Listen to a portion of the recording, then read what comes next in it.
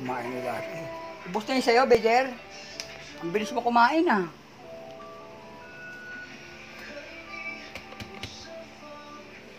Baka hindi mo inubos, Beder. Hmm, si Kiki, Kiki Tapiona, si Barbie. Hmm. Si Carlita, abos na nga yung kay Beder. Si Carlita, ang dami niyang ginawain niya Carlita. Ang ganda-gandang bata, oh. Si Berdugo, oh. Ito, laki ng plato, oh. Hmm? Lakas kumain yung basti-bachi na yan, oh. Masyayo yan, oh. Pa, isa yung daddy, oh. Ubod ng gwapo, oh.